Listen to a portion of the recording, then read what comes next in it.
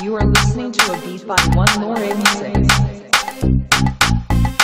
and things fresh production.